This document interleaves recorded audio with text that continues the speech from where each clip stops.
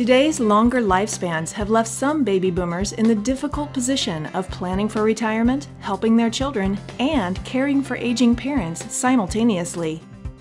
Giving advice to aging parents on their finances and other matters can cause conflict.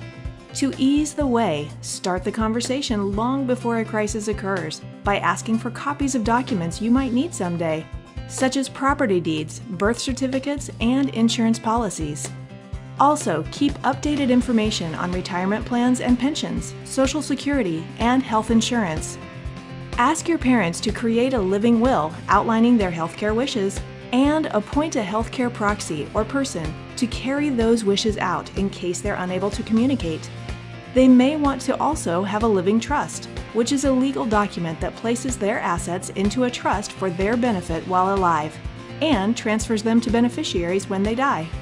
If your parents become ill or incapacitated, the trustee can immediately take over financial decisions. For more information on caring for aging parents, call us or stop by our website